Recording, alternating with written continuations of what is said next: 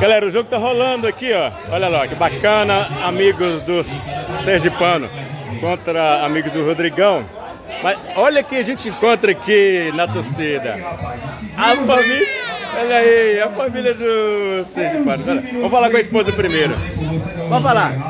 Manda um recadinho pro papai, vai lá. Olha a outra filha do Sergipano. Vamos falar, pra gente assim. Você que acompanha o Sergipano, a gente sabe de muito tempo, você também é professor de educação física, sofre como a gente sabe. Mas fala um pouco de mais de um evento desse que o que menos interessa é o resultado, né? Então sim, é um evento, é, principalmente hoje, né? De Natal, que é um dia tão. uma data tão especial para todo mundo, que marca a fraternidade, solidariedade.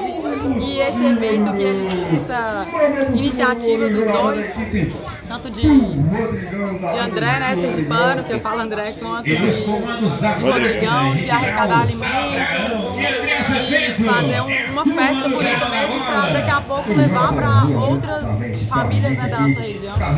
É um evento espetacular. O sonho, o sonho do Sergipano que a gente sempre brigava, brigava, né, lutava, você e nós juntos no momento esportivo, de ir para o UFC, virou realidade. Agora a briga nossa é top 1, né, o melhor do mundo. Já tá próximo, né, até o primeiro, né? Ah, vamos chegar no cinturão, né? Estão trabalhando para isso, agora ele já está com a luta marcada agora para o dia 25 de fevereiro e você, Rubão, tem muito... Saiu um gol ali agora. Olha o Sergipano lá, tá no gol agora, cara, olha lá. De lutador pra goleiro. Olha lá, tá no gol e a esposa tá aqui falando. Vamos continuar falando enquanto o pessoal tava narrando aí? Continua.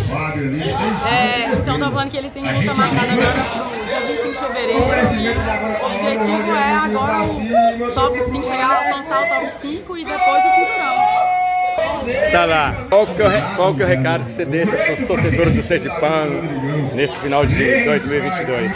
Então, agradecer primeiramente a todo mundo né, que acompanha ele, que abraça essa, essa campanha que é de Rubão também aí, de Bloco foi o Rubão que iniciou e que acompanha, que está sempre acompanhando a gente nas redes sociais, dando força, dando apoio, que ele está treinando muito. Ele é uma pessoa muitíssimo dedicada, muito esforçada e ele faz todo o trabalho bem feito para representar a nossa cidade e buscar o cinturão pra gente. Parabéns. Pode se identificar, olha, essa... Vamos falar quem é ela, gente, para finalizar. Esposa do Sergipano. Deixamos seu recado aqui, a filhinha também aqui, todo mundo. A outra filhinha. Qual que é o recado que você vai deixar pro papai? Final de ano. Olha que bela jogada, bela Aí.